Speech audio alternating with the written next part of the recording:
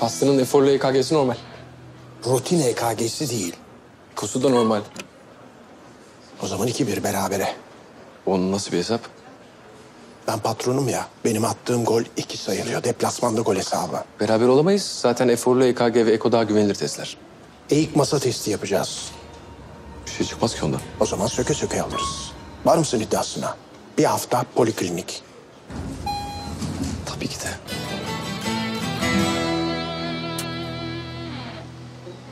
Sevdin mi bu adamı?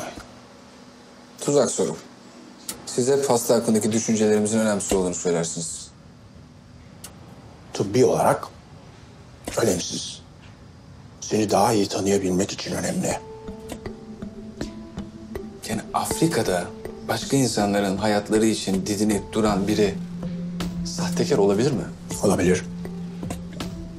Evrimsel bir sorumluluk olarak ailemizi ve yakın çevremizi daha fazla umursarız. Onlara daha fazla önem veririz. Onları daha öne koyarız. Geride kalan insanları o kadar fazla umursamayız. Onlara o kadar fazla önem vermeyiz. Birazcık geride bırakırız onları.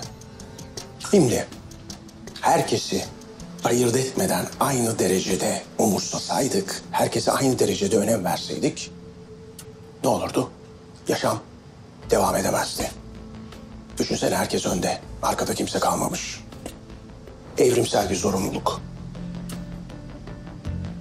Yani bütün iyiliksever kahramanlar en az bizim kadar bencil. Yani bizim kadar dürüst değiller. Ee, evrimsel olarak derken hayatta kalmak üstünden mi bahsediyorsunuz? Evet, Çünkü size hep güdülerinize güvenmeyin dersiniz de. Ee, Kerem Hocam, bu arada kalbiniz pozisyon değişiklikleriyle gayet iyi başa çıkıyor. EKG'de de bir duraksama yok.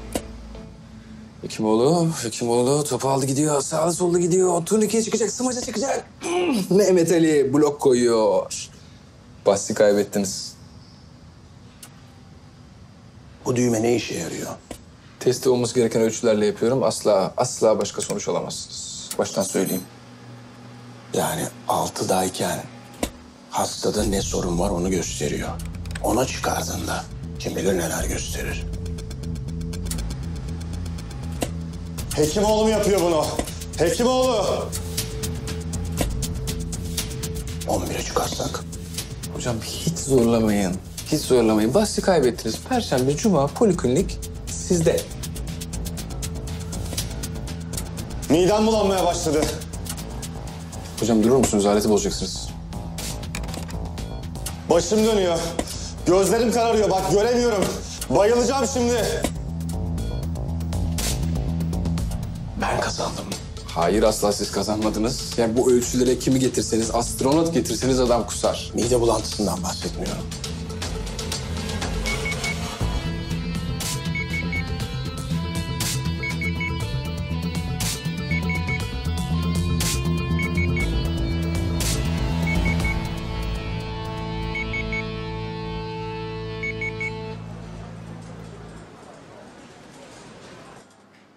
Ee, test sonuçlarınız bir sorun olduğunu gösterdi.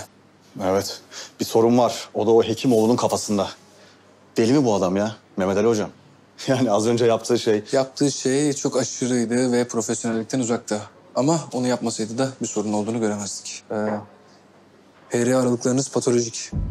Bu çok tehlikeli. Yani özellikle Afrika'da modern tıptan uzakta yaşadığınızı düşünürsek ölümcül bile olabilir. Kalp pili takılacak yani. Öyle.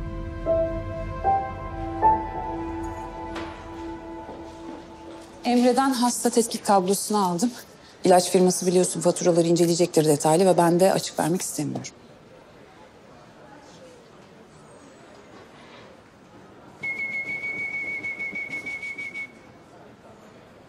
Yeme bizi.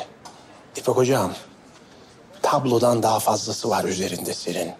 Ne o? Emre'den bilgi sızdırmaya mı geldin tedavi hakkında? Dökül. Ben zaten bana vermek zorunda olduğunuz bilgiyi evet aldım. Tamam tamam. Affettim. Yalnız aramızda kalacak bu bilgi, tamam? Kerem Cevher'le konuştum. Hasta dosyasını basında paylaşmakta herhangi bir iz görmediğini söyledi. Ne görmemiş? Beis mi? Beis. Öyle mi? Haşmet mi hapları beis mi görmemiş? İzninle. Gazeteciyle randevum var.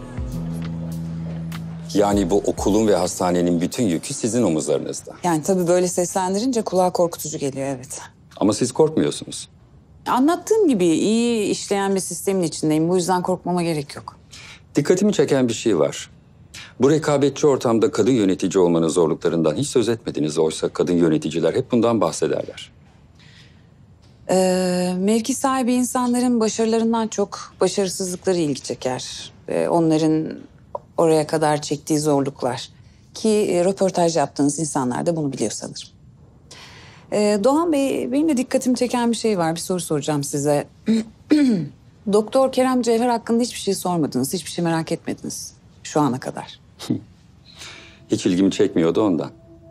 Asıl ilgimi çeken şeyin ne olduğunu duymak ister misin İpek? İpek dememin bir sakıncası yoktur umarım. Afrikalı verem hastalarının kurtuluş umudu fedakar doktor Kerem Cevher bizzat kendisi bu ince hastalığa tutuldu. Ne büyük trajedi. Ve bütün trajediler gibi dikkat çekici. Tedavi masraflarını bağışta bulunan ilaç firması karşılıyor öyle değil mi? Evet. Doktor Kerem Cevher'in tüberküloz ilaçlarını sağlayan ilaç şirketiyle uzun süreli ve prime bağlı bir anlaşma yaptığı söylentisi var. Hatta bizzat kendi hastalığını da bu tanıtıma yönelik bir reklam kampanyasına dönüştürdüğü söyleniyor. Hastanenizin de bu kampanya dahilinde seçildiğini söyleyebilir miyiz? Şöyle anlatayım. Kerem Bey'in kişisel ajandası kendisini ilgilendirir ve bu soruları ona sormanız daha mantıklı olur. Hastaneye gelince herhangi bir kurum ya da kişi bu hastaneyi tercih edebilir, seçebilir, gelebilir. Ki gelmezse hata eder çünkü biz burada bir numaralı doktorlarla çalışıyoruz. Benden bahsediyor. Kendisiyle ilgili herhangi tıbbi bir bilgiyi sadece ben verebilirim. Başka kimse veremez. Hanımefendi de veremez. Kendisi burada doktor sıfatıyla oturmuyor. Sadece bir yönetici. Buyurun bakalım. Ha, bu arada bu çiçek de ondan gelmedi. Hatta sana bile gelmedi. Onu da hatırlatayım.